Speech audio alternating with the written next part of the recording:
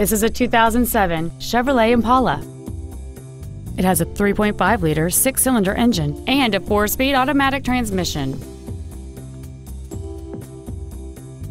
All of the following features are included cruise control, full power accessories, a rear window defroster, side curtain airbags, variable valve timing, tinted glass, dusk sensing headlights, and air conditioning. Stop by today and test drive this automobile for yourself.